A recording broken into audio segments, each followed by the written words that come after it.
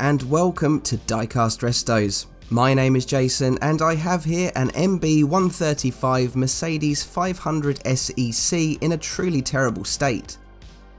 Someone has painted every last inch of this in black. The body would have once been red, but they've also assaulted the wheels and the windows. To one up the former keeper, I plan to fix all of these issues including the snapped A-pillars and paint it a far better shade of black, a colour which certainly suited the real car. Here is how this model would have once looked. And here is a similar 560 SEC with the AMG trimmings that the casting received. The model itself was produced between 1984 and 1989 in the Matchbox main line, but also saw releases in the Laser Wheels and Lasertronics lines up until 1991. The first two years in production saw the car painted white, with black AMG tampos on each side and a blue interior. It then appeared in red with the same AMG decals later in 1985, with this design running into 1986, now featuring a black interior. For 86-87, a white car with red and blue number 7 tampos entered the main line, while a red car with orange, yellow and white tampos all over was added to the revived Superfast line during the same period. The final mainline releases were black with gold SEC 500 tampos on each side, with a brown interior. Yep, that was the unmistakable sound of my tap snapping in the post.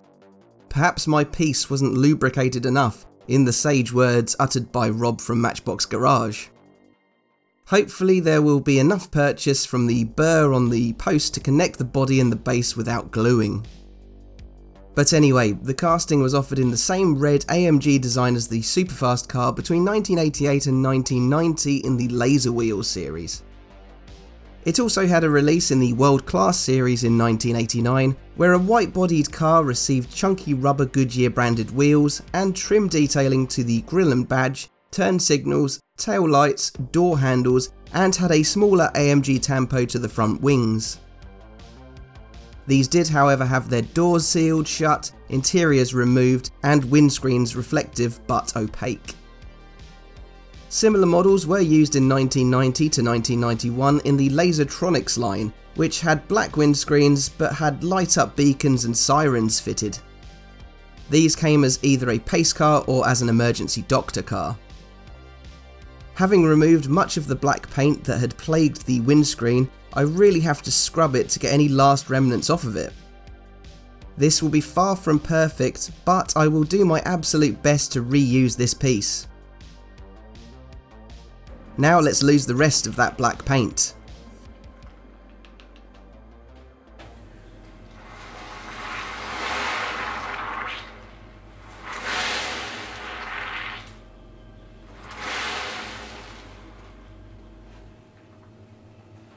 Incredibly, the black paint washed away in the caustic soda to reveal the original paintwork in all its glory.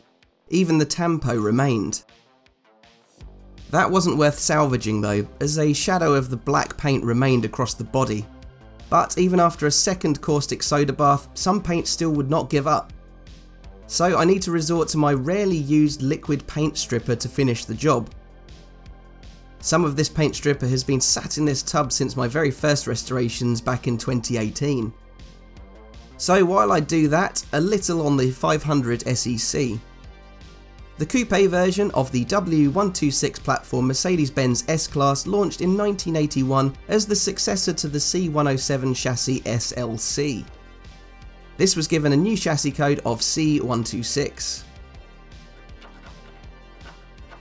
The W126 four-door sedan had been in production for two years by the time it was introduced. It was designed by Bruno Sacco, with aerodynamics featuring high in the list of priorities to aid fuel efficiency. After being unveiled at the 1981 Frankfurt Motor Show, the 380 and 500 SEC went on sale in September that year. It was the first time an S-Class chassis had been built as a coupe. Of the pre-facelift first series W126s of 1979 to 1985, The 500 SEC was a range topper, alongside the 500 SE and long wheelbase 500 SEL sedans. Each were powered by Mercedes M117 5 litre V8, which produced 228 brake horsepower from 1981. In SE and SEC guise, it was capable of 130 miles per hour. The V8 engines during the first series period all had 4-speed automatic gearboxes. The 500 SEC had anti-lock brakes as standard, as well as the other carryovers from the S-Class sedan including seatbelt pretensioners, crumple zones, with optional airbags, heated seats, automatic climate control and power seat controls. And there I've just totally snapped off that A-pillar. I was trying to bend it gently back in place. It isn't going too well for me this build is it? So I secure the broken A-pillar back in place with glue and some masking tape as a guide. I'll be painting the base black again and then we'll detail the headlights which form part of it, as well as picking out some of the underside points of interest. Being an AMG model, I've got some 3D printed AMG wheels here to complement, similar to those seen on the car from the image at the start of the video. Speaking of which, AMG offered body kits on all W126 models, with the coupe having a wide body option. They also offered engine tuning upgrades with a popular option the uprated M117 V8 unit, which was 6 litres with a double overhead camshaft. Some coach builders offered a convertible conversion for the SEC. The facelifted second series went on sale in 1985, and with it came a revised engine lineup. Of the V8 engines, only the 5 litre M117 was carried over. Joining the lineup was a bored out 3.8 litre up to 4.2 and a bored out 5 litre was pushed to 5.5 litres, creating the 560. This was the most powerful engine fitted to a W126 S-Class. During its 10 years of production, 30,184 500 SECs were built, a further 11,267 380 and 3,680 420 SECs were produced, and 28,929 560 SECs during its six years in production. The W126 series was the highest volume S-Class on record in terms of production, with 74,060 coupes and 818,063 saloons, totaling 892,123 during 12 years of production.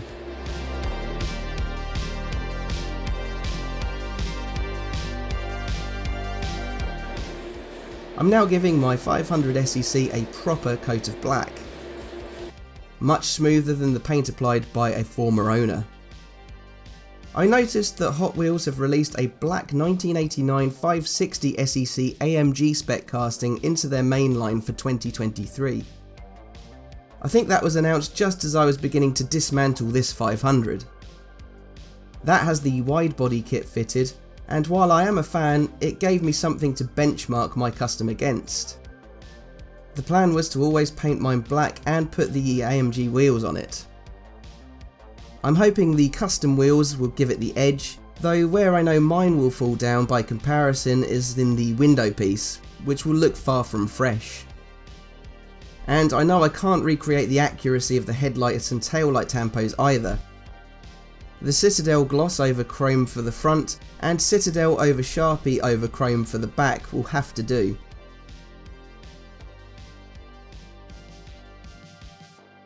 Speaking of, let's get cracking with the base level detailing. What I love about these old Mercs is how menacing they look in black. So I think the fewer highlights the better, less is more as they say. I'm limiting the detail to the turn signals in their orange casing on the front, headlights on the base, inset fog lamps, and three pointed star with central chrome extension. On the back it's the light clusters and small three-pointed star in the middle, while I create a white registration plate with my Uniposca pen. The sides get none at all, except for the reflection of the door mirrors. So I layer on the red and orange Sharpie to complete those period specific light clusters, and then run over the 500 SEC characters with my Micron pen to bolster the lettering visibility.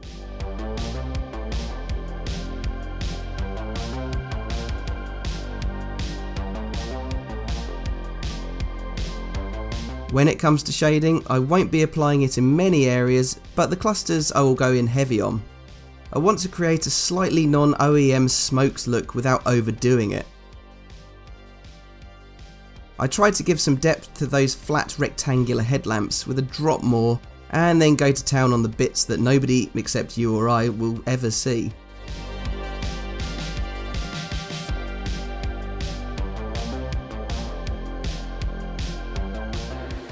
Once dry, I entomb the detail in clear before giving my murky old window piece a rear view mirror. Let's now reconstruct this Matchbox 500 SEC. First of all, I attach that window piece that I've worked so hard on to return to a respectable condition. Next, I place in the washed interior piece.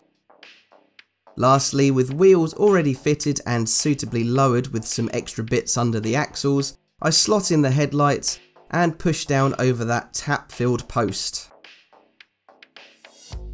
Let's remind ourselves then how my Matchbox Mercedes 500 SEC started off looking. A former owner had slapped on some thick matte paint across the entire thing, leaving very little trace of its original red colour. Both A-pillars had snapped at their bases, and one even came free entirely while I was attempting to repair it. But I set out on this build to improve on what the last owner had started, and here it is now. It's a whole lot better in gloss, without paint covering the windows and wheels, and with solid A-pillars. You'll note it is sitting slightly lower on the custom AMG rims, and the overall stance looks much improved. I've done all I could to improve the window situation, with that paint pretty difficult to shift from it. But I've loved detailing this classic Merc with some subtle smoked effect light clusters and minimal front end chrome trim. How do you think I did compared to the Hot Wheels release? Let me know in the comments and give the video a thumbs up if you like the result. Subscribe if you want to see more diecast customs and help support the channel by pledging on Patreon. My thanks as always go to my loyal band of followers. So all that leaves me to say is thanks for watching and I'll see you again for the next one. Bye for now.